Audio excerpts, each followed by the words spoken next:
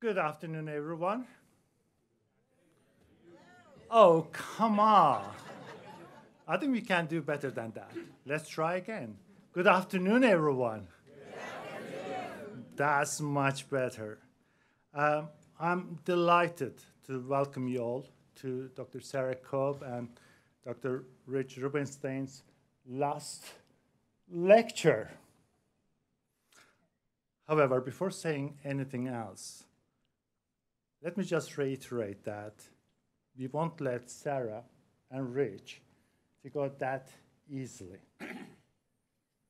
they may be thinking that they are retiring at the end of the semester, but the answer is no, no, no, because the dean has other plans.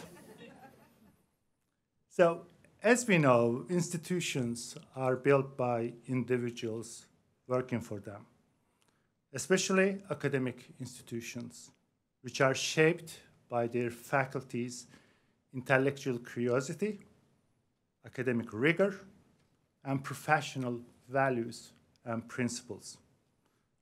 The Carter School is no exception in this. And the Carter School owes so much to Sara and Rich for their incredible contributions to making who we are today, the leading school of peace and conflict resolution globally. Thanks to Rich and Sara, the Carter School, which started as a small center with a, uh, with a handful of faculty in the early 1980s, has become a school of nearly 500 students in its undergraduate, graduate, and PhD programs. Thanks to them, we have educated generations of peacemakers and peace builders. Thanks to them, the Carter School is a hope and beacon for the future of our field and transformational impact it has in the lives of conflict, uh, conflict affected communities from Arlington to Afghanistan. Professor Rich Rubenstein, educated at Harvard College, Oxford University, and Harvard Law School. Served as director from 1989 to 1991. As a result of his efforts, the Center for Conflict Analysis and Resolution became a freestanding institute reporting directly, directly to the George Mason University Provost. So how many people here are from the ICAR days? Well, CCAR, ICAR, and that's just often the kind of like people still refer to Carter School as ICAR. Not that I get upset or anything, but, but that was a, such an important departure point. Um, and during his term of office, the Lynch Lecture Series was initiated. The Carter School convened the nation's first major conference on the news media and conflict resolution. And a workshop was conducted at Airlie House that brought together key players in the Northern Ireland conflict.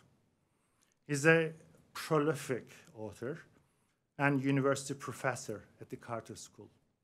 He was awarded Faculty Member of the Year for 2017 by GMU Alumni Association and received the Doctor of Literature honorary degree from the University of Malta.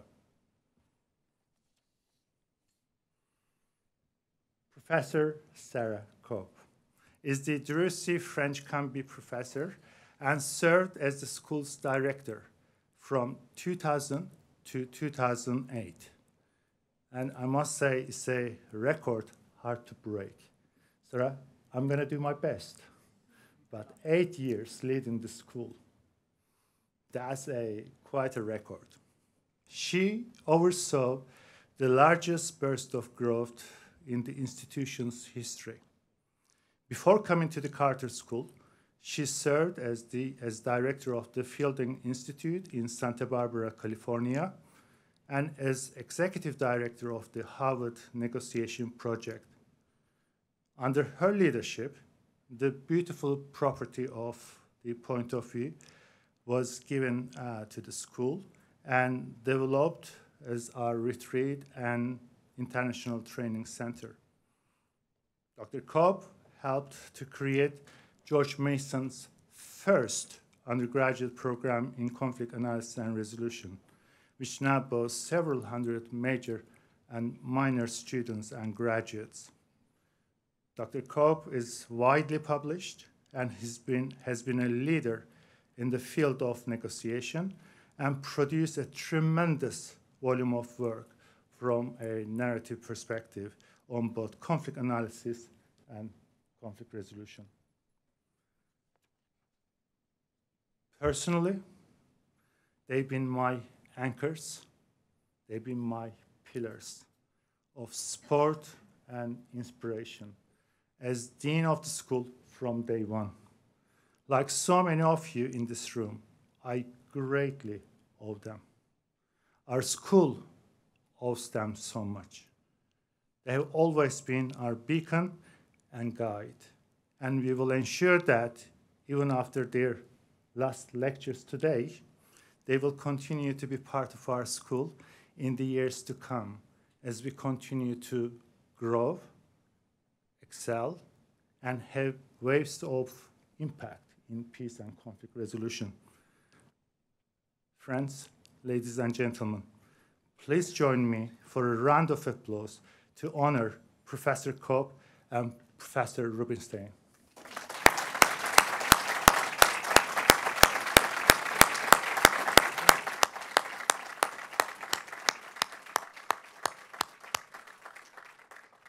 Great. Thank you, everyone. Now, I'd like to invite Professor Rich Rubenstein for his last lecture. Rich. Thank you,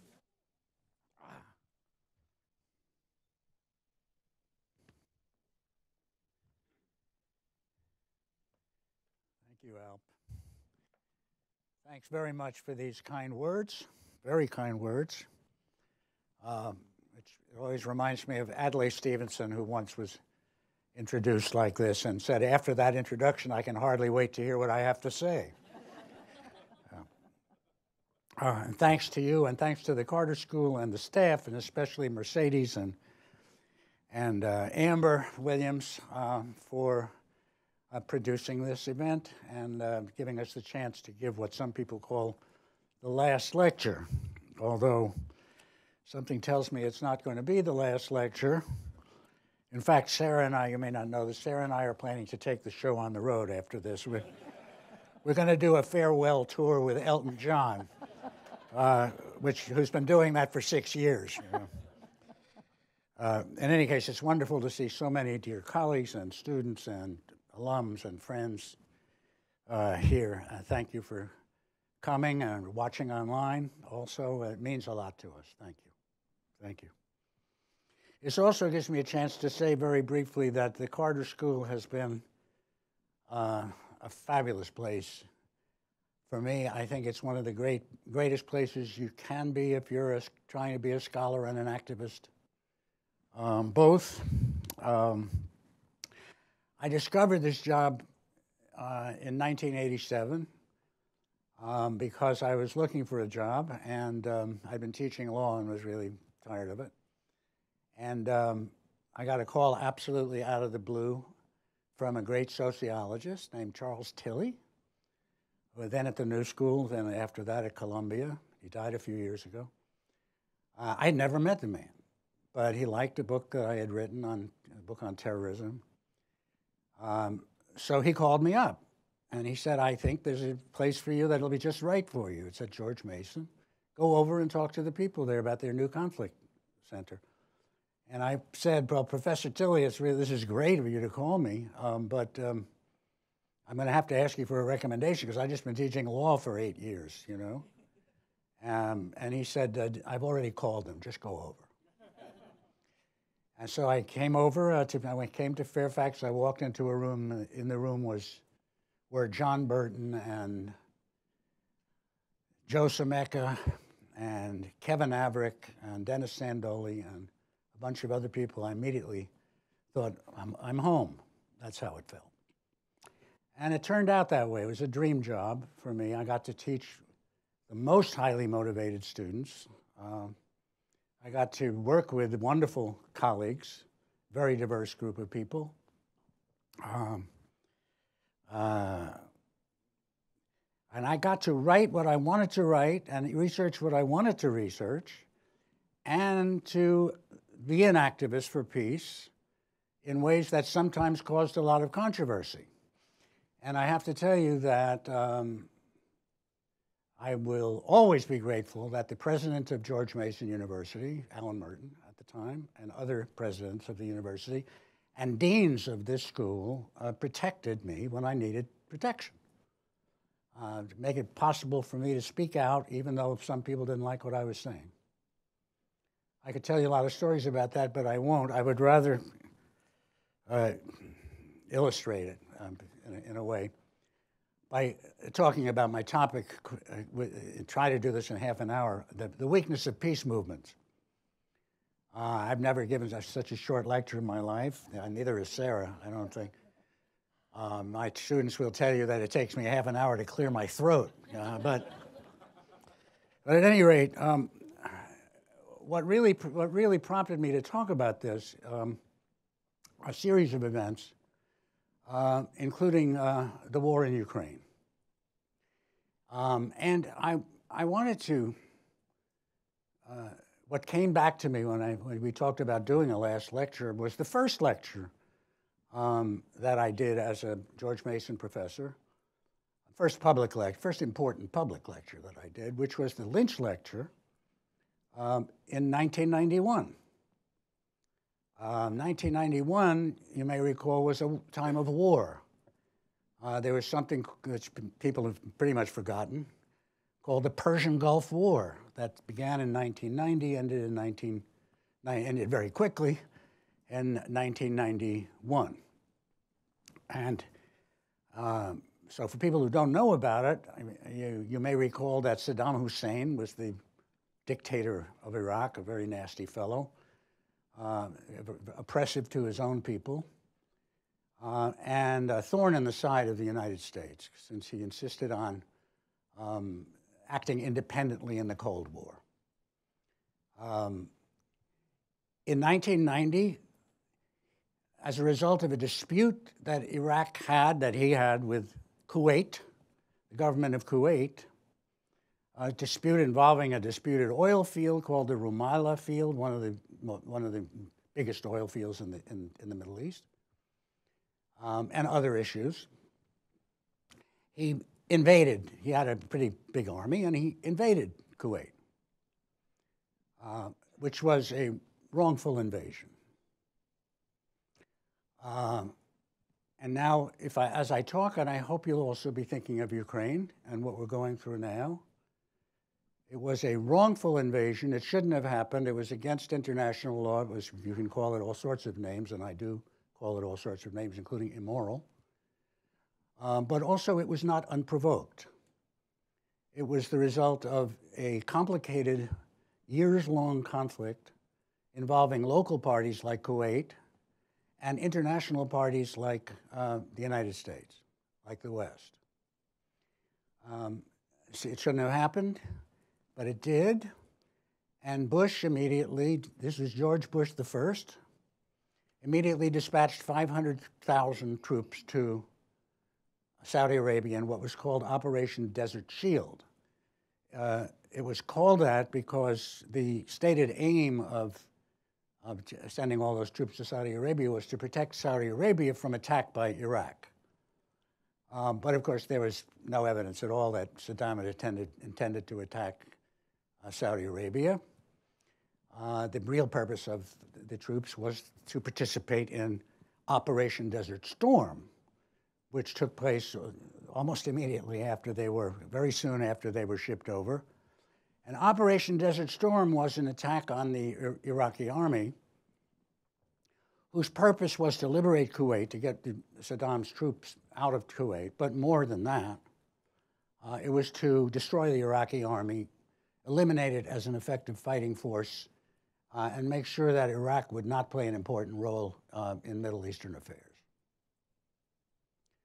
Um, the reason we know that that was the, the purpose of the war uh, became clear to me after I started doing research. I started doing research on this um, right after Bush uh, declared uh, not only that in two days he destroyed the Iraqi army, killed 30,000 Iraqi soldiers, um, established a no fly zone over Iraqi Kurdistan, um, and then announced that the war had not only liberated Kuwait, it had ended the Vietnam syndrome.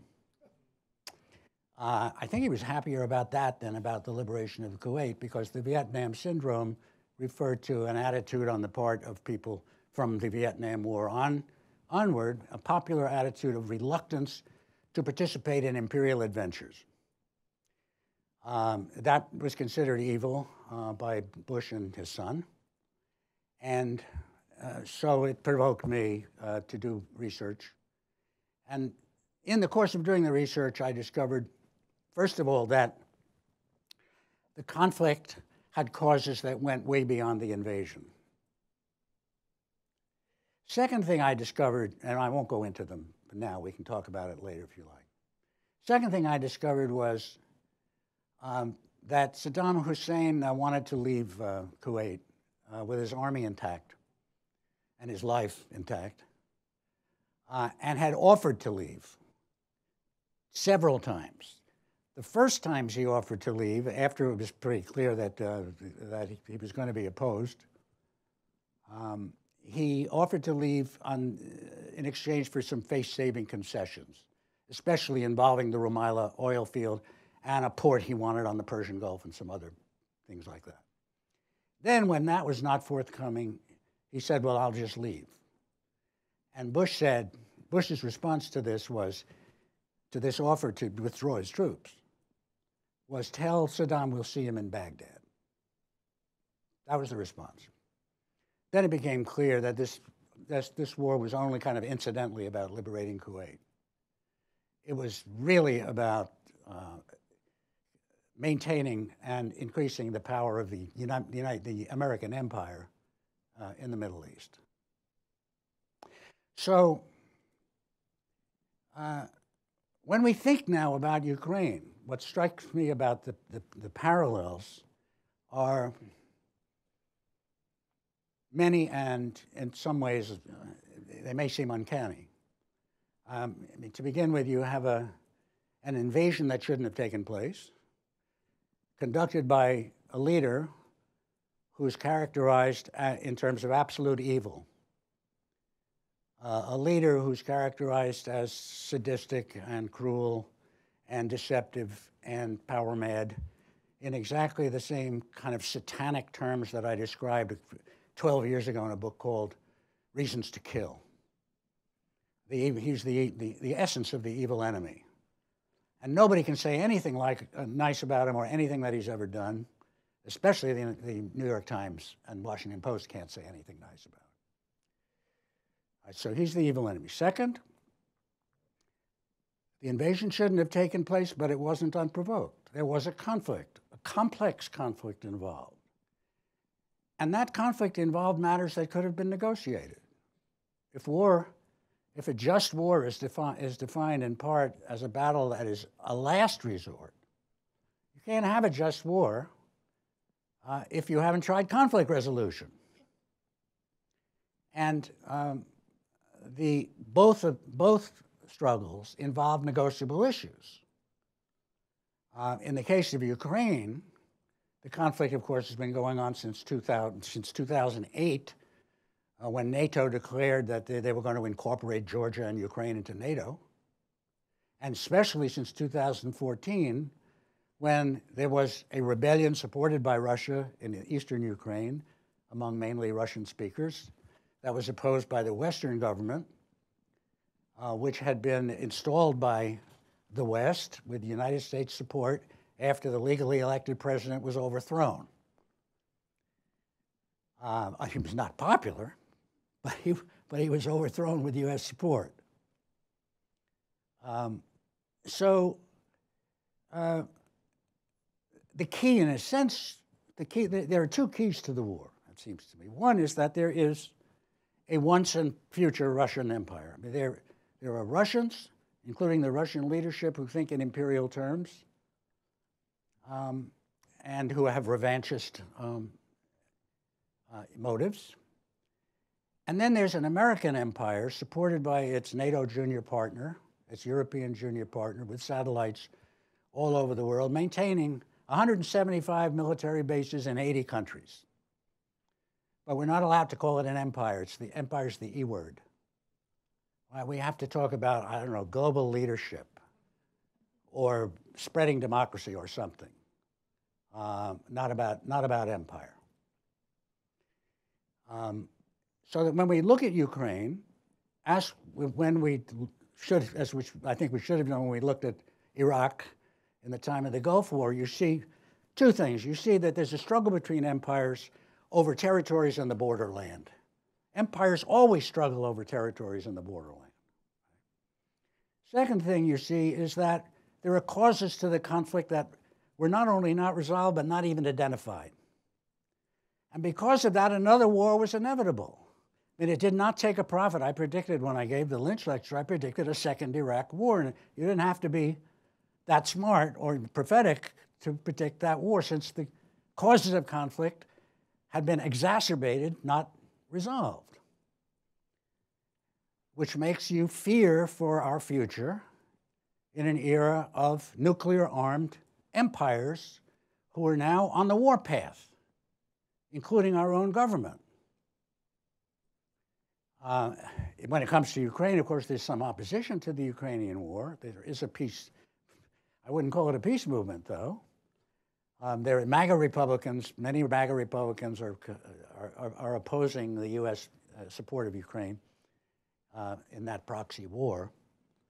Um, but uh, they are more ferocious than the Democrats when it comes to China. The reason they, they don't want the war in Europe, they want the, they want the war in Asia.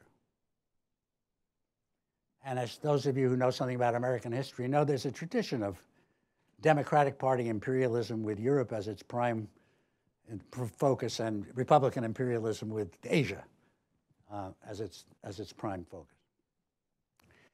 In any case, these parallels struck me so forcibly that because they made me realize that at least part of what I had written in my book on resolving structural conflicts was true, and that is that there are systems that generate conflicts. Conflicts are not just the result of the evil intentions of some people or the defenselessness of other people. History is not a story of per perpetrators and victims.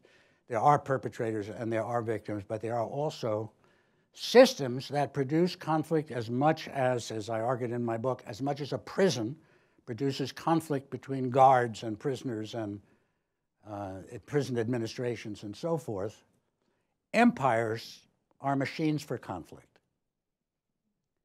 They, the, the sponsors of empires believe that they and they alone can bring peace to the world they can, because they can combine power with righteousness.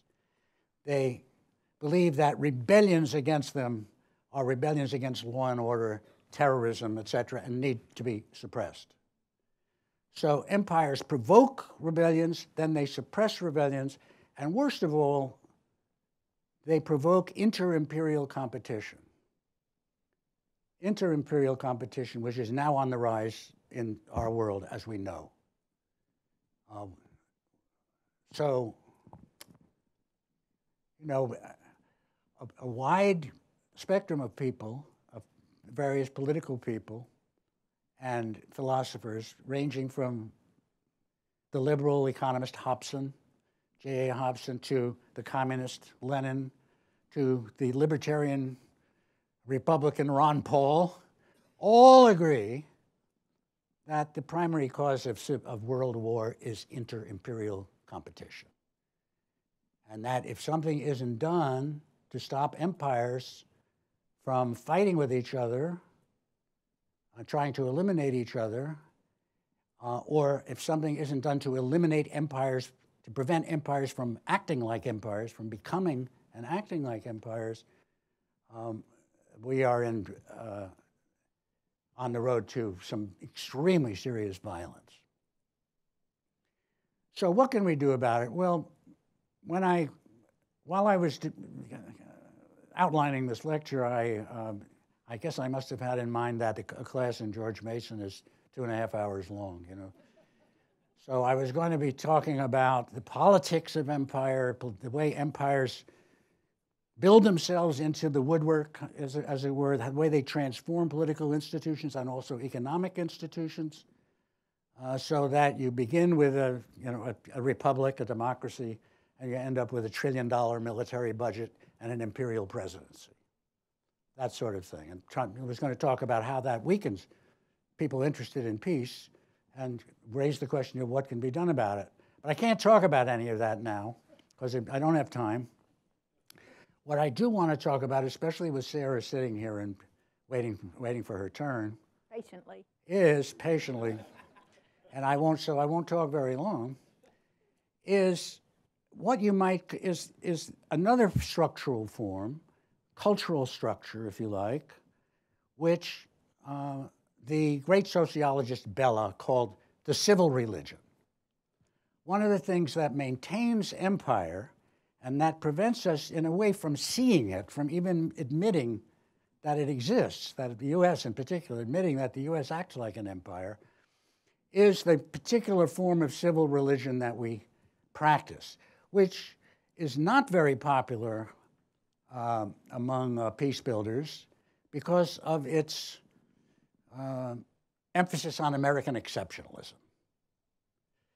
because the civil religion, if civil, what Bellah meant by civil religion was a was ideas and practices and beliefs, uh, some of which are drawn from traditional religion, others drawn from um, secular philosophies and ideologies, expressed in narrative form, often expressed in narrative form, and accompanied by strong emotions that tell the story of a people.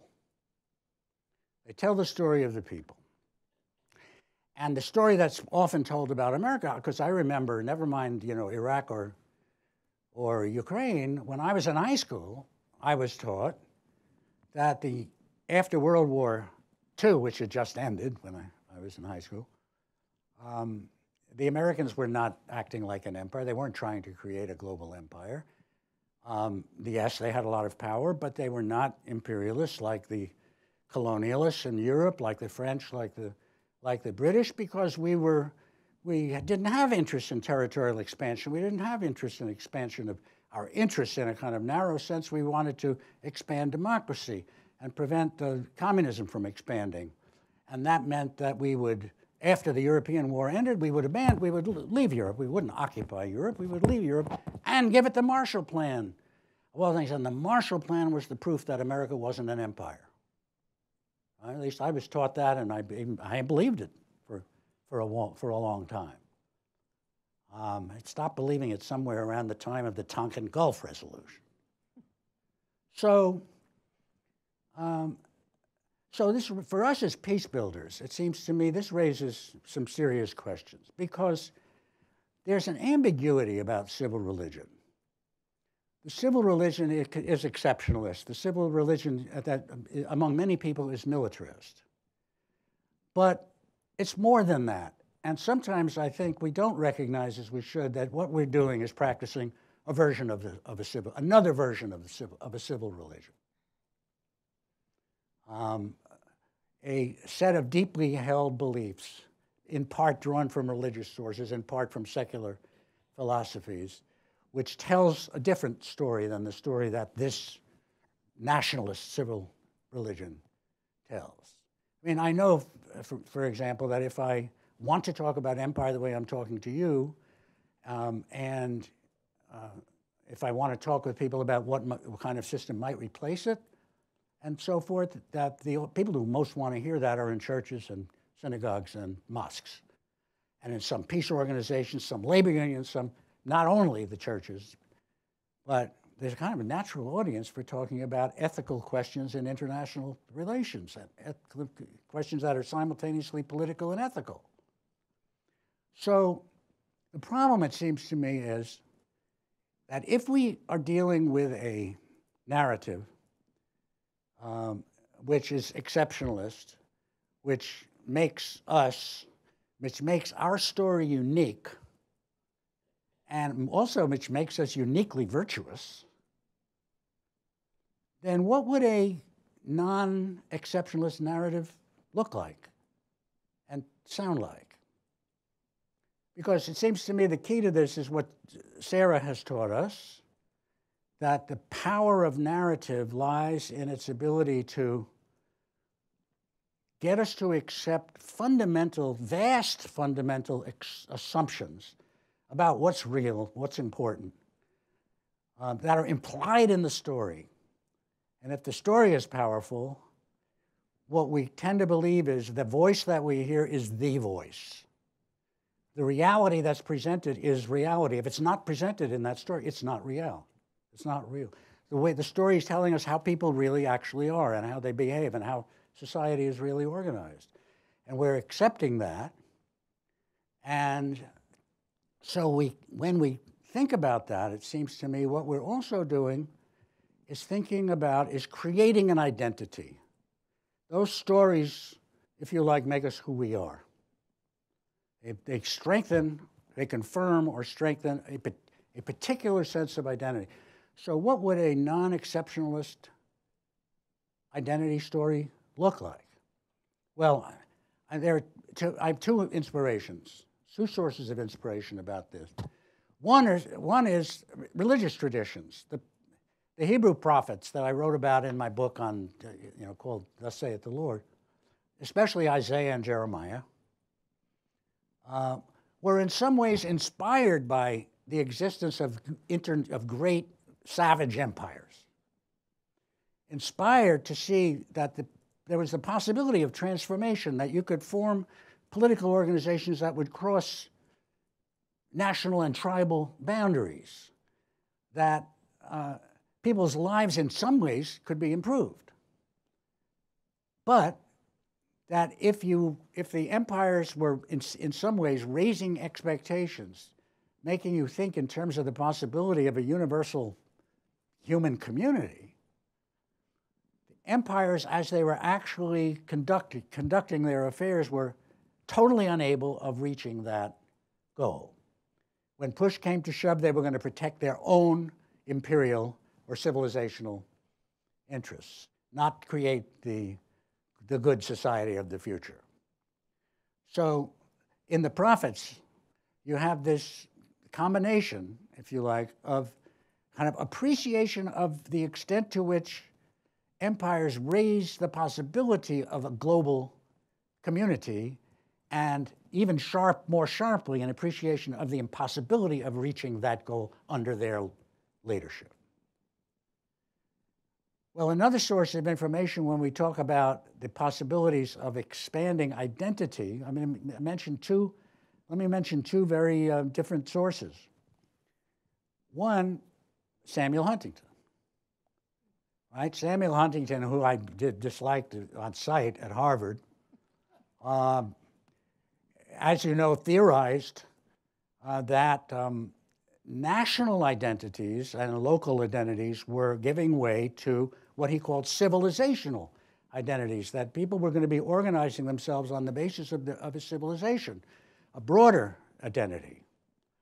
And that, that that would then produce a new, new possibilities for conflict and peace, but especially for conflict. Uh, because hum, Huntington really looked at civilizations as, the, in some way, a replacement of, of states, and Huntington remained a realist who thought if you had states, they were going to have to fight. Um, so the, the, for him, the bottom line was you keep your powder dry, all right? Get, get your guns. Um, but there was something else. Mean, Huntington got wrong. What he got wrong was, it seems to me, first of all, the idea that this was the ultimate stage of human evolution, the, the development of civilizations. Secondly, that that was the only way to transcend more narrow identities, more local identities. And third, a complete misunderstanding that there is a political and economic form of the civilization. It's called an empire. What he was doing was talking in cultural terms, in political cultural terms, about imperialism. But he didn't want to recognize that either, so, and so he didn't. Um, so, what's the other source of, of, of inspiration? The young Karl Marx developed a concept that he called species identity.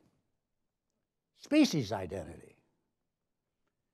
Um, the idea was, he said, on the basis of an identity which would be all embracing in terms of humanity, people identifying themselves as members of the human family, that that could lay the basis for a more peaceful and just society on a global scale. But he also said, being a Marxist, that ideas alone don't make history and ideas alone can't be realized by simply by believing in them. If species identity were to come into existence, it would have to be on the basis of the multiplication of international transactions. That is to say, we would have to trade with each other, we would have to, to visit each other, we would have to exchange information with each other. We would have to organize with each other as fellow workers or professionals or, or, or whatever. We would have to play together in sports. We would have to marry each other's children. We would have to enjoy each other's art. We would have to dialogue with each other. And when we did enough of that, species identity would start to come into existence naturally, not because some philosopher said it was a good idea, naturally. And it will, and it, and it can.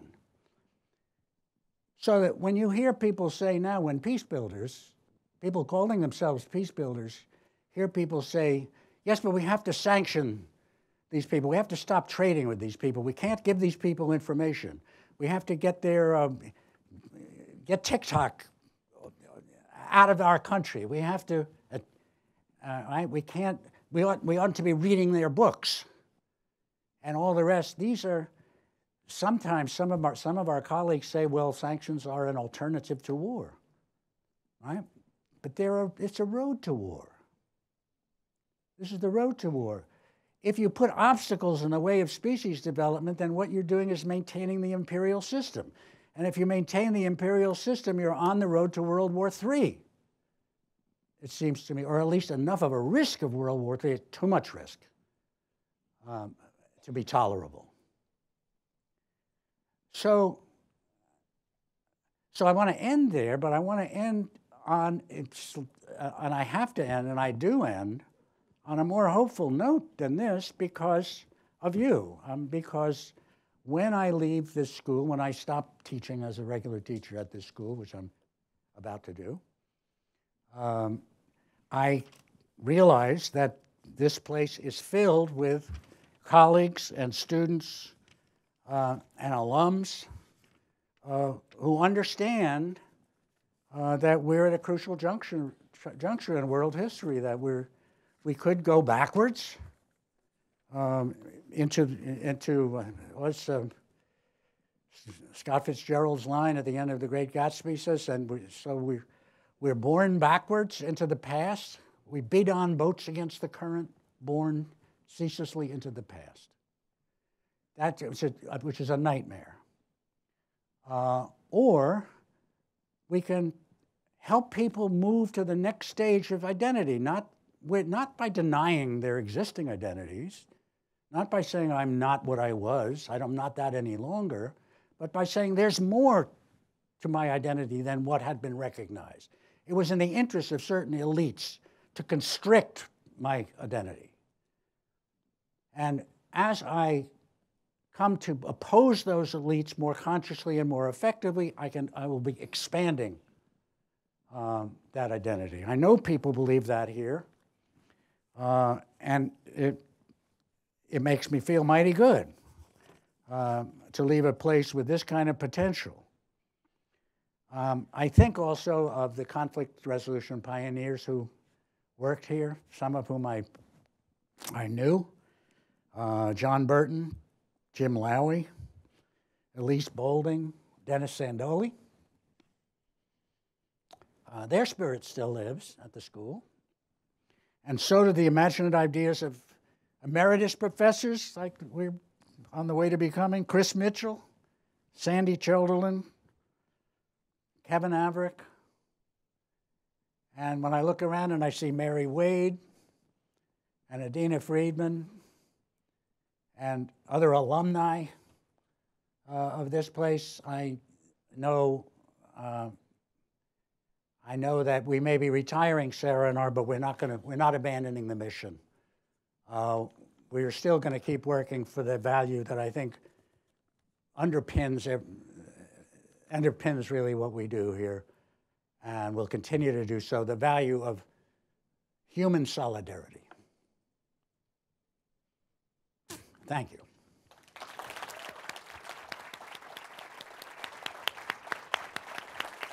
Beautiful. Beautiful. Oh, thank you, Sara. Tiring. Thank you. Okay, am I on? Yes. Um, well, I feel like I should just forego giving a talk and we could get into small groups and address the issues that Rich has Thanks, just Mary. raised so beautifully. And um, I look forward to that in the question and answer period. So, um, can somebody give me a, um, what time is it? It's what? 2:45. Okay. So, um, I'm going to rock and roll through this part. Geez, I almost stayed on time. You were perfect, Rich. perfect. Okay. Um, I'm an old woman. I'm happy about it, actually. I like being 72 and uh, having the years behind me to, to have to be able to reflect on, and hopefully some years in, front of me, right? But I'm musing now, and I believe Rich, Rich's talk is the same, as a person of years, musing on thinking into the future from where we are right now, and wanting, as he wants so desperately, for us to be able to do something different. So um, mine is in the similar vein. Uh, it's got a slightly different foci, but it's, it's the same. I want to think past this, uh, I want to think past the prior industrial revolutions, right? We've really had three so far, right? We've had the steam engine, and this was in, uh, let's see, uh, 1784, more or less. Um, multiplied in 1870 by the addition of electricity and mass production, which is second, and the third in 1969 with the emergence of computers and uh, you know the basically automated production, and the fourth now, which I believe we're in, which is really about the Internet of Things, uh, artificial intelligence, and um, circular economies, really. So the world is a, is a fundamentally different world. And, and when I leave this place, you know, I come back, hopefully I'm alive in 10 years, and I come back to some, uh, hear some dissertations or um, listen to some other colleagues give their retirement talks. Um, I'll hear, um, I'll be enlivened by the kind of things you all have been able to do about the issues that Rich and I are raising today. So basically what I wanted to do today was whisper in your ear about AI. Um, I want to think about its implications, both the perils and the promises for, um, for us going forward in conflict resolution, but I want to do that from a narrative lens. So let me see if I can manage all this paper and, okay, the clicker. Yes, Sara, clicker. Okay, so um, let's talk about the first law of robotics, which is um, a human, this is from Isaac Asimov, who wrote, as you know, the I, Robot series that's fabulous. A robot may not injure a human being or, through interaction, allow a human being to come to harm. Right? Well, I want to think about what constitutes harm in this age of AI, right? Um, certainly, we've got, okay, violence and death, clearly. Um, we've got structural uh, violence and the kinds of systems that Rich was talking about that perpetuate inequality. Um, we've got also cultural uh, disasters or cultural violence where we have the destruction of ways of being and um, the integrity of people's structural perspectives that, that is lost to the mass industrial process that we're in. So there's different kinds of harm. It's going to make it easier to go to war um, in a way that we have not imagined heretofore. So um, that's one kind of harm, clearly. And then we've got, uh, let's see. Okay, so clearly we have another kind of harm where the robots actually, you know, this is like from Terminator, they begin to not stop firing if we stand in the way. And that's scary. And then ultimately, they can be at some other sort of level of analysis, will become the entity with the finger on the button because we will be relying on them, right? for the analysis, the data collection, and the, the way of making sense that would then allow us to develop the early warning systems, which we're already using AI for, by the way, to make these kinds of determinations. So clearly, these are all different aspects of harm. And uh, Asimov actually imagined this, um, and he, he later, after some years, developed the fourth robotic law, which he called the zeroth law. A robot may not harm humanity or by inaction allow humanity to come to harm. And that's a very different project than a particular individual. And it goes back to a little what Rich was speaking about, about do we begin to imagine ourselves as a species? And Asimov was moving in that direction. Um, now, we are using AI for peace in a way that is interesting. Um, I've got a couple of citations up here. Um, there's interesting articles appearing, even this last six months, um, that show how AI is being used to enable mediators and peace builders, you know, to dialogue and poll, do public polling. Um, also, that there's a department at the UN, the Department of Political and Peacebuilding Affairs, UN DPPA, um, and they're actually using natural language processing to help machines uh, to help us dialogue basically across thousands of individuals and to suck that data up and make sense of who cares about what and why, basically understand those narratives. So these are interesting um, AI um, applications for peace, and uh, I'm in favor of them largely because this is, these are strategies that enable us to hear marginalized voices, people that we may not have otherwise heard. Um, stories that were on the ground that we didn't quite listen, didn't know how to listen to. And this much data collected like this should, we would hope, um, expand our understanding of the nature of the issues that people have and what they care about. But I don't want to talk so much about how AI is being used today for peace or peace building. I want to think uh, about this natural language systems, right? Particularly uh, ChatGPT. And um,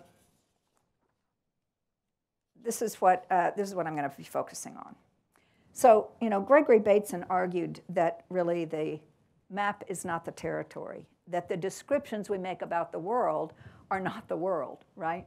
So this is a quote from ChatGPT um, after I asked it, so wait a minute, it described itself as providing an objective account of something. And I said, well, wait a second, aren't you really just using an algorithm that tells us that is based on natural language, which is they're building their algorithm to create descriptions based on word associations that we have, right? So what word shows up proximate to what other word? This is basically frequency counts, right? What kind of words go together? Like, we all want a better life, right? We know some of these things, right? So basically, the language is picking this up. These, uh, the natural language AIs are picking this up. So I asked it, so wait a minute, you know, you're not objective. And it tells me back, you're right, you're right, you're right. You know, I'm just using frequency counts, and, and I'm basically just make my responses are data driven and not corrective, right? So um, I got, I'm worried about this because the algorithms don't show us things. They simply show us what we already are talking about, which from a narrative lens is terrifying because it just means we're in this, you know, circular pool, perhaps cesspool of knowledge, right, that nothing new is coming in and we're not necessarily getting smarter. Um, we're simply learning what we already know. Um, my daughter and one of my daughters was in Houston and she went downtown for a conference and in, she was there early in the morning and she saw these folks, these, this thing, not a folk, a thing, on the street, you know, tooling around, doing its thing in the morning. And she said it was really spooky. You know, she'd never seen one out and about before. But for me, it's terrifying if you take into consideration what I'm just talking about, which is that natural language processing is relying on what we say, the biases we have, the stories we're telling to build knowledge. That, and we're training it on ourselves. So basically, we're embedding these biases, these stories inside of AI models, which then give us back the information about who we are and what, what's important, right? So if you think, you know, just look at uh, anything, for instance, race. Can you imagine the biases that are built into these machines as they're going down the road at 6 o'clock in the morning in Houston? Not looking for my white daughter with red hair. No, they're looking for people of color, they're looking for men, they're looking for people that maybe have a hoodie on, whatever. And those are built into this. So the very things that have brought us to the streets over the last two or three years in terms of our, our police brutality and the importance of, of getting rid of racial bias uh, are embedded in, in the AI systems. That is, for me, harm. That is serious harm. Now, the reason this is uh, so problematic, let me want to sort of take a detour into narrative for a second, has to do with um, how dominant narratives operate. So basically, I'm arguing here that AI is simply scooping up our dominant narratives and embedding them in our systems, the very systems that Rich was talking about, that, that lead to structural inequality and, and support the, the development of the empire, right? So what do we know about dominant narratives? Well, you know, they're dominant because they're adopted, they're circulated, and in the process of that, in the process of the repetition, they're shortened. So that's something that happens. We know that statistically. The more they're spoken, the more shorthand they become, the less information is involved, and the more dangerous, I would argue, they are, precisely because of the detail and complexity that is bled out. But that's not the worst of it. The worst of it is, it's not just that they're shortened, it is that they grow in power. And what do I mean by that? Well, they start to protect themselves, just like a robot. Know, they have their own internal coherence, and they're going to, for instance, delegitimize anybody that delegitimizes them they're going to deny the inclusion of important plot events. If you look, we've studied all these conflicts around the world, right? And Party A has important events that they would include in their story about what happened, but Party B doesn't want those included, right? We see this all the time. So the dominant narratives simply regulate what kind of plot events can be included. And of course, they ignore and deny and, and denigrate other people's values. So it's the way in which narratives, a dominant narrative operates that's so spooky because it's got its own internal machinery to pursue, to persist in itself, to maintain its own integrity, right? And that's just how they work. That's their scariness. So we're up against that. Now, this is a complicated spaghetti diagram. Let me see if I can tell you why I did this, why I wanted you to see this. Um, I've been working with, is, where's Julia? Oh, she is. I've been working with Julia Roig from Horizons Project, and she and I have been talking and thinking about the problem of the trans conversation, right? Which is particularly important to me because I have a member of my family, a young member of my family that's um, trans. And if in this conversation, what we see in this, in this dynamic, what you see is a dominant narrative and it's basically in red right here. And I, first I put it in blue and I thought, what am I doing? This is a Republican narrative, right? So I had to redo it at uh, 10 o'clock last night to make it red. Um, so you have a dominant narrative and they're talking about family values and the fact that all this gender confusion is problematic and, and they are um, positioning themselves positively because they are reducing gender confusion and they want to actually legislate against the kind of medical treatments for kids why? To keep kids safe. So that's their red badge of courage, right? Meanwhile, they're delegitimizing the others And the others, anybody that would be telling this quote unquote counter narrative, would be maybe starting with the feminist movement and the importance of unseating patriarchy and the way in which that leads us to new experiences of gender and, and kids have different kinds of experiences and et cetera. Parents listen and the doctors understand and there's, we're gonna, and then our story is on the, on the, on the left, states legislate against trans and oh my gosh, kids are at risk. Now, what's problematic about this dynamic is all the boxes at the bottom that are encased in red. These these components of narrative right here, where the master narrative, the dominant narrative, will actually organize to reframe, repurpose, redeploy, reinsert these phenomena that are in this story down here in, back into itself. So you actually make a master narrative more powerful, richer, and more responsive to counters every time you counter it. That's why you don't want to counter a master narrative because you simply are feeding it the very things that it needs to, to unseat your story. So this is, this is an example of how, and it's actually something called narrative compression, the way in which these discursive resources are accumulated and then redeployed against groups. So this is another sort of, this is an example of the way in which master narratives uh, operate, and this is what we're up against, basically. Mm. Now, um, so here's what I did. I asked uh, GPT-4, okay, so tell me about the war in Ukraine. Like, give me a strategy for conflict resolution. And I did this, by the way, in Ukraine, and um, I thought of Susan Allen's work in uh, South Ossetia and Georgia. I did this in a bunch of places thinking, what do we know what, what, what are the, basically the dominant stories that GPT will tell us about what we should be doing? And here's the list. You know, you've got the conflict analysis and stakeholder. I'm not going to read all this. But the one that I'm particularly concerned about is, let's see if this, this doesn't have a little pointer. I don't see it anyway. This one. I'm worried about that.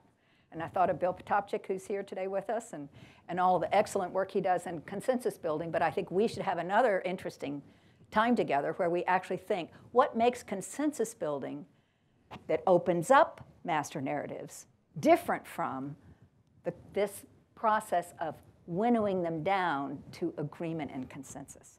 So here's where I'm going, here's why this matters to me. That I'm concerned about the dominant story inside of our field spit back to me by GPT-4. This is it. And I'm concerned because of, if you, and if you read it, it's pretty simplistic. This is, you know, this is interesting, yeah. But when you get down to ask it, and I did, okay, what do you mean by agreement and consensus? How does that work? And they give, you know, they talk about shared narrative. And then I, I want to shoot myself because a shared narrative is, is one that is going to end up um, requiring people to take out the particularities, the idiosyncrasies, the cultural um, complexity that actually Rich was talking about we'd need to keep in order to be a species, in order to think differently about things. So what I'm worried about is ChatGPT's no, here's what I'm worried about. I'm worried about our knowledge and the way in which the AI has taken our own understanding of ourselves and simplified it. And if this is this is knowledge, this is going to be you know scary. And I, I see Kyle nodding and stuff.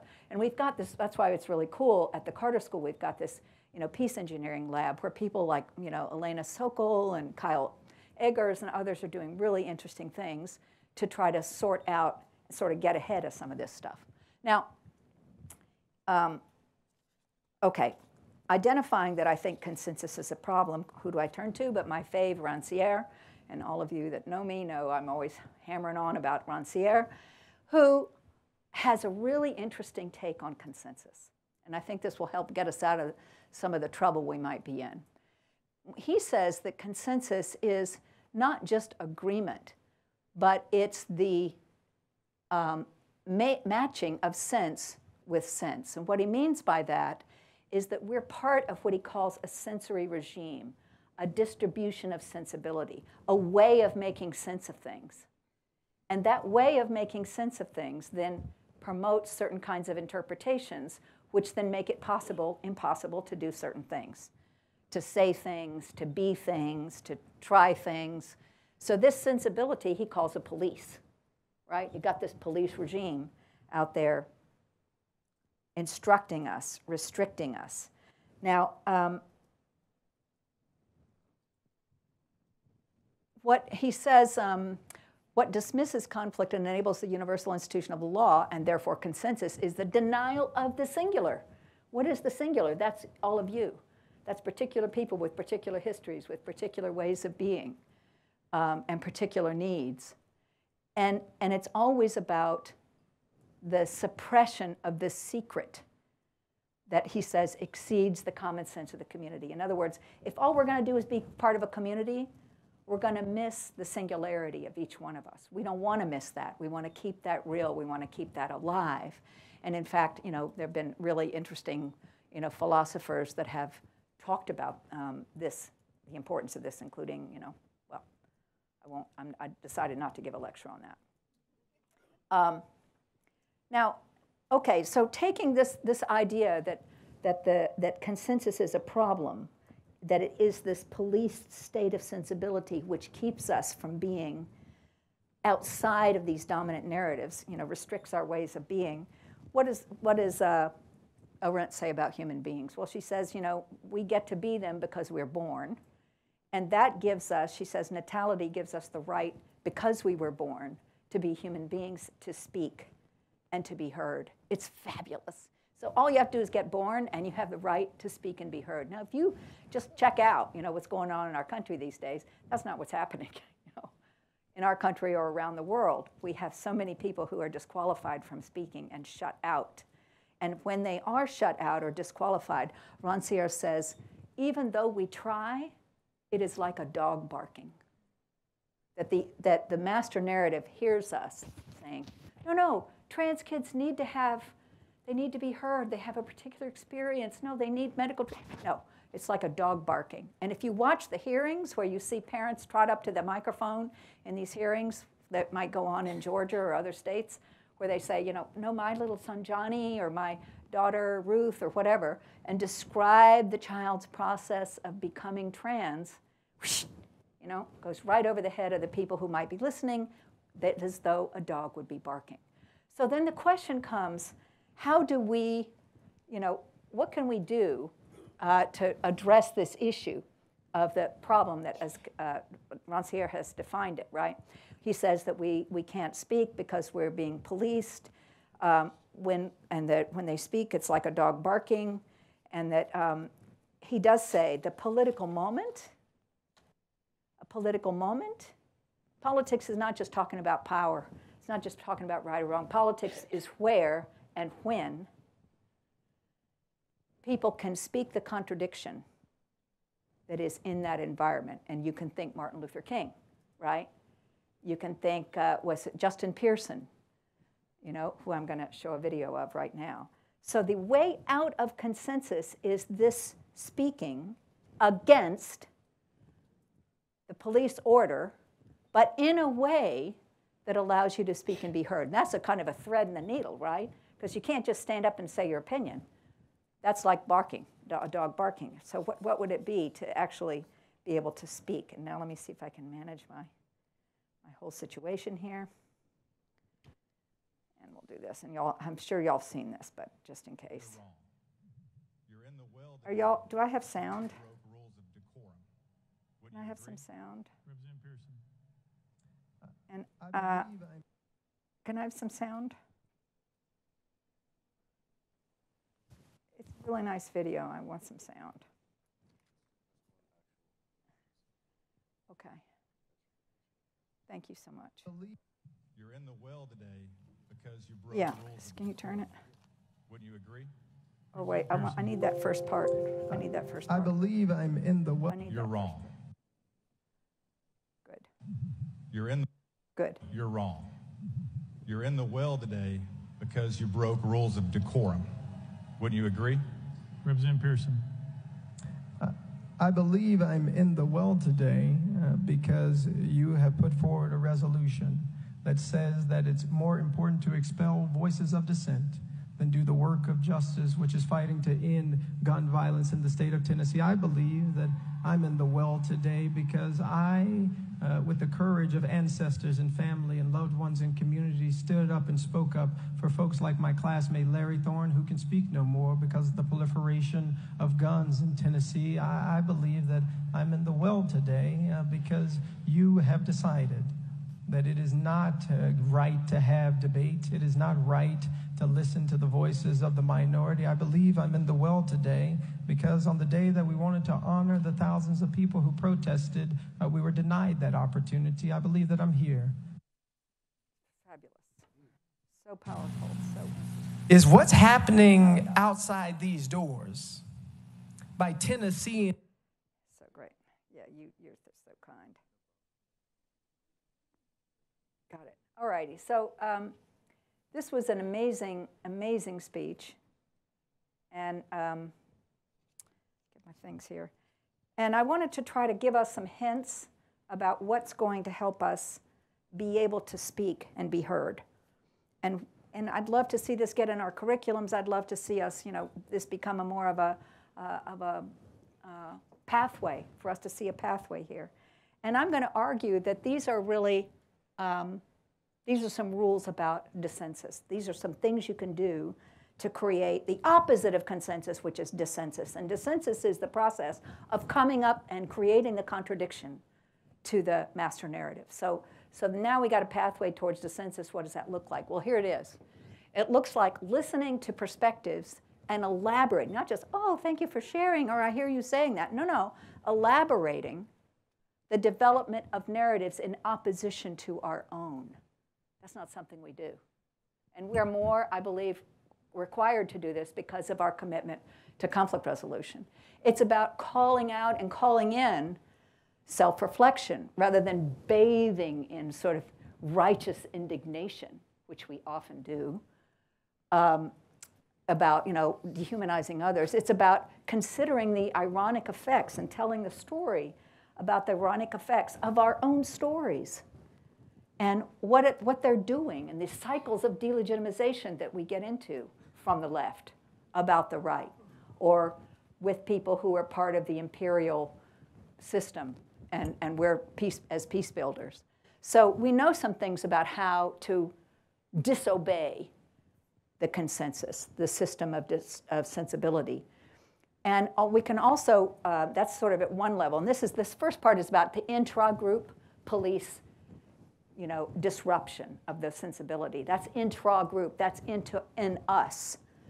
And then between the groups, I think it tells us that it's possible to use the contradiction, to use their values, these other folks' values that we actually are in opposition to, to um, highlight this contradiction between what they say and what they're doing. For instance, in the Tennessee legislature, where uh, Justin Pearson was called up on, uh, you know, because he had violated decorum, and he's, all he did was set up this notion of decorum against the politics of representation and, and democracy. And decorum kind of shrivels, you know, in the process of that that we shouldn't make the chamber, the legislative chamber, which is a place where people can speak, about decorum. It should be about speaking. And he says this.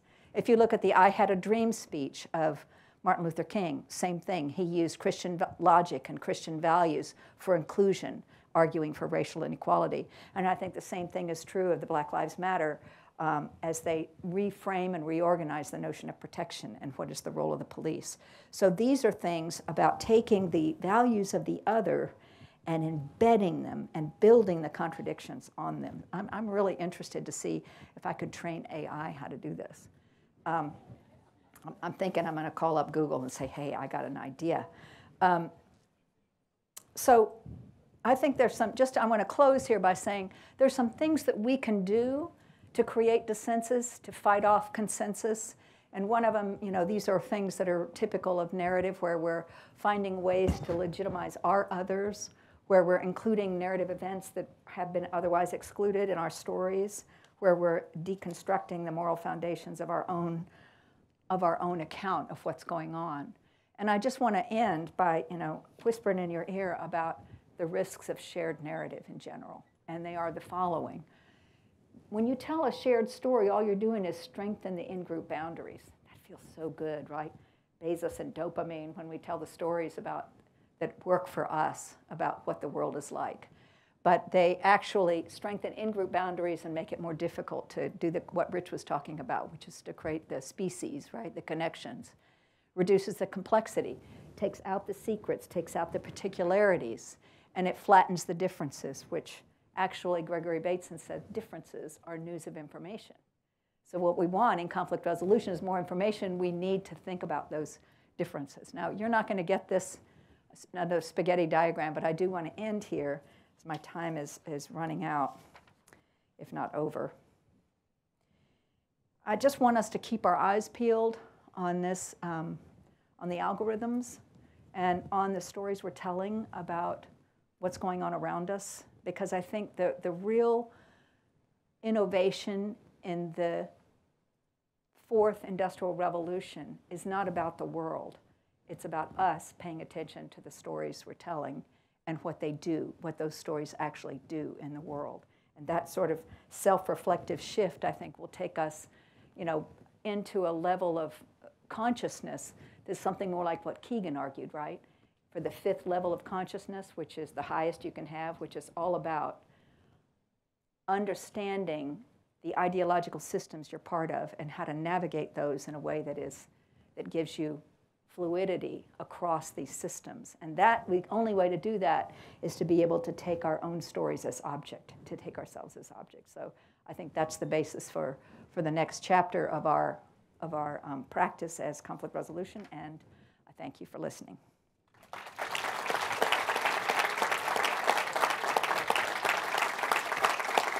Bravo.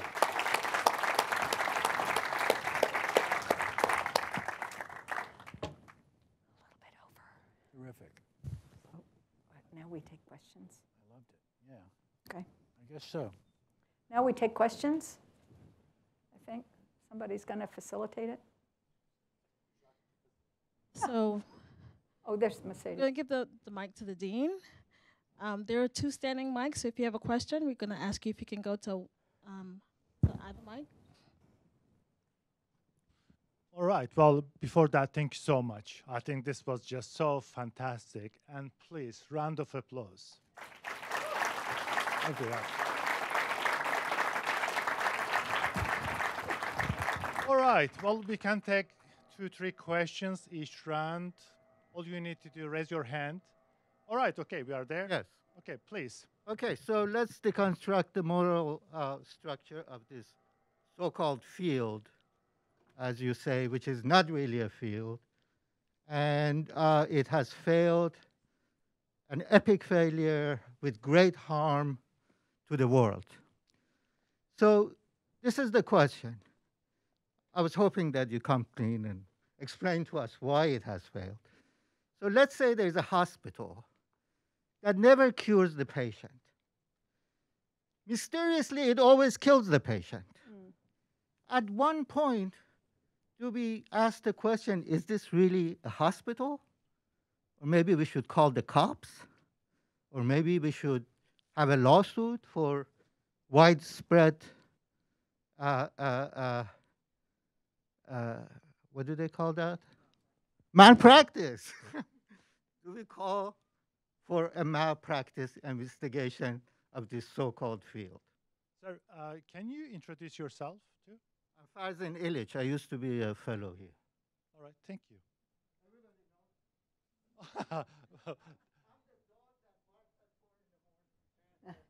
right, okay. Well, thanks very much for letting us know. Much appreciated. You want to take that? Do you want to take that? I didn't really follow it very well. Shall we get a couple of more questions? Yeah. Okay, so um, I think it's a good question, and, and I'm in agreement with you that we are, um, we've been sort of flat footed, I would say, in response to so many different crises and conflicts. I would say that at least maybe it's the perspective I have from within because I know the churn that's going on in terms of the faculty and the students. People are doing amazing and interesting things. Now, oh, you're shaking your head, okay, maybe not enough in the world, but I, I think what we're doing or what I see happening is folks folks are working to understand the systems of sensibility. And maybe that's the first step is to understand what how do people make sense of things and how are they understanding stuff. And, and maybe there's another, and I know others of us have gone a step further. We've got Bruce Aft has worked with communities. We have Susan Allen here. We've got Sandy Cheldelin and many others in the room have had really interesting and important practice on the ground. Now, have we healed everything? No. But that's, I, that's the what? Right, okay. Okay. I think Rich's, I think that, that Rich's uh, talk is actually, hit, you know, does point in this direction. Doesn't it, Rich? Uh, sorry, take, see if there more, there's more questions. Okay, thank you. Tehama. Um, I really enjoyed both of your lectures quite a bit. It gave me a lot to think about. And I know that retirement is, there's a sort of kind of like officialness at this particular institution, what it means in this particular role. But I know both of you. There are projects unfolding. And so what I'm interested in is are the, what are the projects that are unfolding for you? What are these next steps? Because I know you have them. Um, and so I just want to be able to track. I know we all have busy lives, but I want to keep my tabs on. Um, are you planning on writing books, articles, speaking engagements, working in you know partnership with various groups? Um, because you are very active, and um, we need to be in the know. And I also want to say that I wore black in your honor today. I, Sara. I saw I that. wanted, you know, I saw that. I was really- Spring, it's all black. It's good. So please tell us Can you more. introduce yourself? Oh, by I'm associate professor at this Carter School. My name is Tehama Lopez Bunyasi. Thank you. Rich. Well, uh, that's a that's a nice it's nice of you to ask. Um, I don't. I must say that retirement I used to think of in terms of jumping off a cliff, and it doesn't feel like that at all. Um, I think we our contacts still are so strong with you know with everyone. I think Sara and I are both concerned that we're not we don't want to lose contact with students, and we're talking about something you know how what to do about that. In my own uh, life at the moment, I'm really I'm involved in a practical project and two writing projects. A practical project, um, which I think I will probably continue working on even after being retired, uh, is to see if there's a possibility of the school establishing a relationship uh, with a fraternal organization for, or sororal or whatever, uh, which has a million and a half members, uh, Rotary International. And a lot of us are meeting now and talking about the possibility of some sort of, I don't know if partnership is the right word or not, but a relationship with Rotary, which gives us access to a, an organization with members all over the world who would, uh, many of whom are interested in peacemaking or peace building. Um, of all the organiz- fraternal organizations like that, like that, they are the most interested in peace historically. So that's a fascinating prospect, and we're working. We're, we're, trying to see where it's going to go. For my own writing, I guess perhaps it, it, it, my speech was a hint uh, of it. I'm working on a book on St. Paul, um, whose vision was uh, uh, of a world, a post-Roman world, that would not recognize differences uh, between master and slave, men and women, or Jews or Greeks, um, and which was in, sense, in a sense a continuation of the prophetic, of the Jewish prophetic tradition. He was, of course, a Jew. Um, that that's one of the writing projects. Another is a project that um, some of you know Michael English, one of our alumni, and I are working on. We're working on a book proposal to talk about basically about the empire question and how people's thinking about that can be changed. How people's thinking about conflict in general and this particular form of conflict can be changed. So that's, that's what I'm up to. Well, I have, um, thank you for asking, Tehama, and I so appreciate the, the wonderful solidarity of the color of your clothes. You know, my students used to do that. The last class, they would come dressed in black, and they thought they were so funny, right? um, so, yeah, well, one of the things I'm going to do is I have a, a very large family. I have seven children, 11 grandchildren, and one great grandchild. And one of my granddaughters is here. Raise your hand, Tessa. Woo! So, um, you know, well, I'll be, I'll be hanging out with them, with the kids and, and my family. Um, and I have one ongoing project in the Arctic where I'm trying to build a narrative-based early warning system. And it sort of clashes with narrative, right? The whole idea of a conflict early warning system as statistical modeling um, of narrative is like, ooh, I don't know how to do that. So I'm working with engineers in the College of Engineering to try to think what that could look like. And I'm so far failing, but um, I'm going to keep trying. Um, and basically, it's a narrative-based system, sort of building from the stories that people are telling. What might you, what would be the anticipatory um, intelligence, as we might say, about conflicts on the horizon?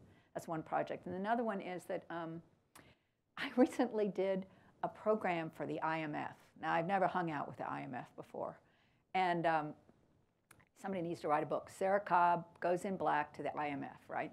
And um, they've got a big problem, which is they're an 800 pound gorilla going to central banks all over the world telling folks what to do. And they've got huge conflicts in the process. So I'm kind of curious about what would it mean for the IMF to reposition itself and to think of its role as partnering or accompanying or something like that, you know, um, that would actually foster the participation of the central banks. So that led me to think about, and I was talking to Harvey about this, um, narrative negotiation. So one of my writing projects is I'm going to write a book on narrative negotiation, which is to take sort of traditional negotiation and narrativize it so that places like the IMF, um, more formal diplomatic settings would have a framework other than interest-based uh, language to talk about that. And I want to call out Kristen too. I see her there. She's my uh, partner in crime in the Arctic, Kristen Weiss. Raise your hand. Yeah, okay. So um, those are. Uh, is that it? Yeah, that's that's pretty good. Thank you. Thank you for asking. Thank you. Um, I just want to add something here. Uh, when we were planning this event, uh, we were talking about you know the content and what we can do, and both Rich and Sara told me that I was forbidden to use the word retirement. know, completely. And in fact, I'm surprised that we mentioned the word number of times already. But I think it's going to be really kind of a different type of retirement. And when you think about uh, other uh, professors who have recently retired from our community. I mean, they've been very much part of our life. Sandy, Kevin, Chris, and in fact, uh, uh, Chris Mitchell is one of the most productive emeritus professors I have ever come across. He attends more meetings than anybody else. uh, and He's frowning. On projects. I mean, and I think that's going to be typically, you know, I'm hoping that both Sara and Rich will be very much part of our life. And Rich has already mentioned the Rotary project. And, and in fact, another thing, perhaps a kind of a good place to announce this too. Rich will be taking over from Casey Soros, the chairman, uh, chairship of the advisory board, starting from next academic year. Thank you. And the reason I made the announcement today, I don't want him to change his mind. Yeah. So, as public, it's official now that there's no going back, uh, Rich. Any more questions? Please. Hi, Audrey Williams. I'm a current PhD student here. Um, and as Dean Ozerdem said at the beginning, um, your legacy is not just as faculty members, but also as directors of the school. You helped shape what the school has become, in addition to shaping what the field has become partly through that. And so my question is, what are the, you know, what's the the critical edge in terms of how we need to be teaching better, how we need to be preparing students better, where where can we go, not just as a school, but as a field in terms of you, you both identified some pretty important substantive things that we need to be talking about, learning about, and practicing better. How do we then teach students to do that so then they go out into the world, whether as scholars, whether as practitioners, to do those things? Whoa. Well, I'm glad that you that you asked that question, not because I have a good answer to it, because I really don't, uh, but because it brings up, uh, you know, when there's a tendency, I think, when you talk about, oh, our careers, or like the, the, the lovely question uh, that Tehama asked, there's a tendency for us to focus on our writing and our ideas, our thinking, and our scholarship, uh, or practice projects that we might be involved in. And so we don't talk about teaching at all. At a, in, uh, we have not talked about teaching at all. And actually, I think that for Sara and me, teaching was the main, the main thing that we did. Mm-hmm.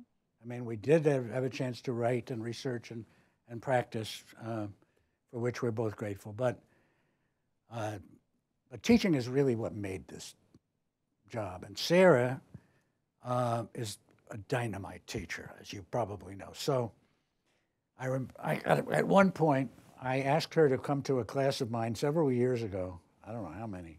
Don't even want to think how many years ago. Um, and uh, to talk about, I don't know, what issues that she thought would be important to the, the students. And to my astonishment, first for a moment horror, but then, then you know, it was just wonderful.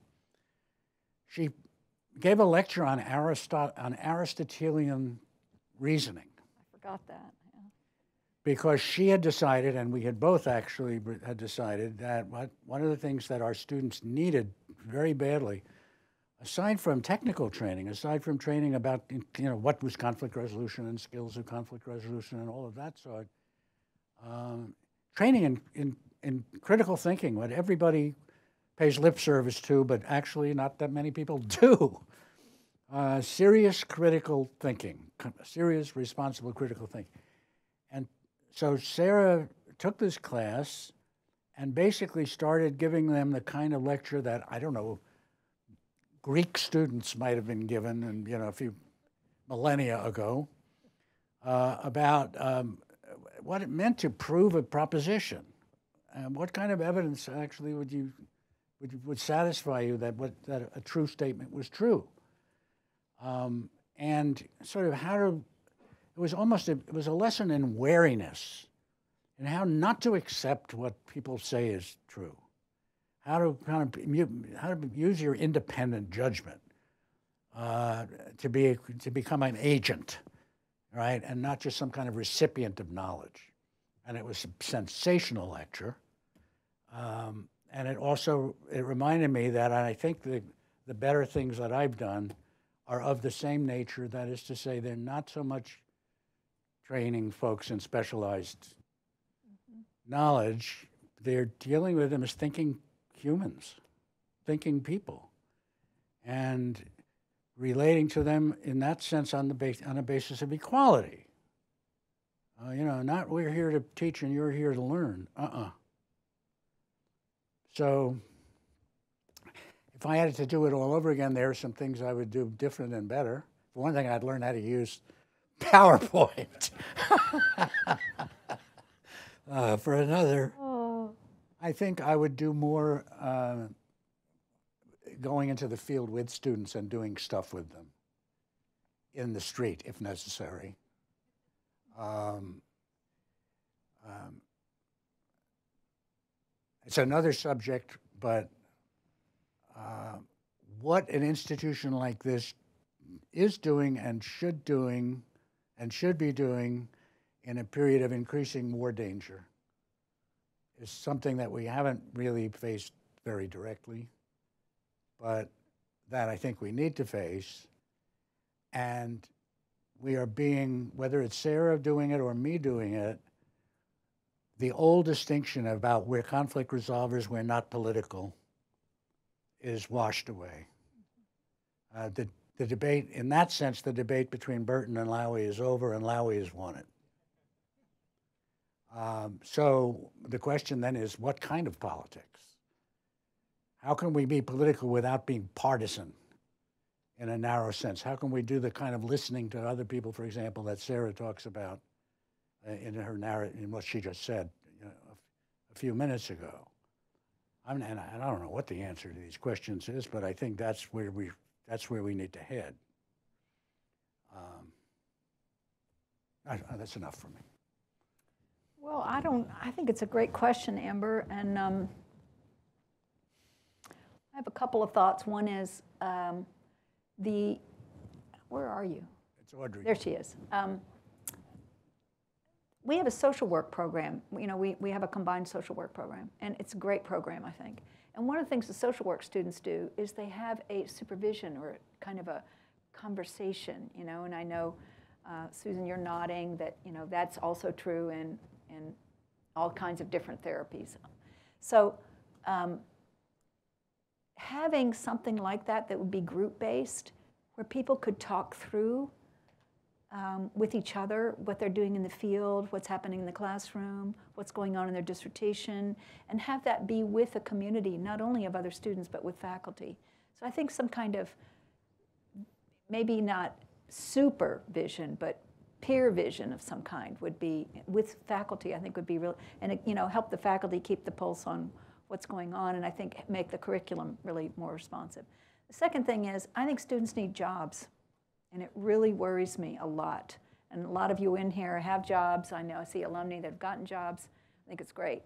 But um, I, I had a plan. It wasn't adopted by the faculty, but now I'm going to get my two cents worth in again. Uh, when Dan was in charge of the, um, Dan's thinking, what did I do? No, you did a great job leading us in the evolution of the master's pro- curriculum, remember? And I went home one weekend and like, on the computer, right? And designed a process for um, the curriculum uh, evolution. And one of the things I wanted to do was to put together the four or five different communities, like the intelligence community, with the development community, with the NGO community, with the, I don't know, all these other communities, whatever ones would be, and learn from the people in the field about what our students need. I wanted those voices, you know, really present. And it was a lot of work and, you know, just didn't end up rising to the top of the faculty agenda. Uh, Dan's laughing, uh, remembers me pounding the table probably on that. Um, but, you know, we ended up with a, with a really good evolution, I think, to the curriculum, but I do really still yearn for that. So I would love to see the school more engaged with the communities of practice where students end up getting jobs. And I think we'd, we'd learn a lot from that. And uh, by the way, I'd be glad to help with that in my retirement. Um, but so those are just some things. Well, what did I tell you about these uh, two giants, you know, not being retiring and being part of our community? Even in the last lecture, you have something to say about the next 40 years, 50 years, and what we should Yeah. do. And I really appreciate that. And there are so many students here in this room took your courses. And when I speak to our alumni, you know, when I ask them about their time here at the Carter School, they often mention your courses and how inspirational they were, what they learned, and, uh, and how they kind of took them to their work life and uh, after graduation. And also, I get so many emails from both of you about our alumni. Well, so and so working in this area out, you should be connected. Or so and so is just such a great peacemaker, you should do something about that, right? I mean, my question is, you know, that passion, that energy you have for your students and for alumni, where does that come from? I mean, all that care, because that is investment of your time, your energy. But I, I uh, appreciate that so much. And, you know, not everybody does that, I must say. And you two do that. Can you just elaborate that a little bit? You know, how that's kind of like part of you and what you've done here. I just want to note that that's an excellent exam- example of positive positioning, right? right? Elaborate yourself, please, Sara and Rich, and, and how wonderful you are. Rich, you go first. That's in dominant narrative. it is. I, um, I don't know what to say about something like that, other than, well, the whole question of teaching and how you do it and what it means is so interesting, isn't it? And there's just something I, we probably ought to be talking about more just among ourselves um, than we, than we do. Um, I don't know really what to say about it. I think, other than I, I think we're actually in loco parentis. I mean, um, we care about our students, and, uh, and most of my colleagues also, you know, I'm, all of my colleagues that, as far as I know, do also care about their students. And when you, I mean, really, when you have people who are um, trying to change the world, which our people do want to do, it kind of sets up a different kind of relationship. Um, you're comrades, not just, you're allowed to say that word now, right? You're comrades, not just uh, student, not just student and teacher. Um, and um, you know, you also understand that people are going to be taking risks. The people you're teaching now are going to be some of them storm centers.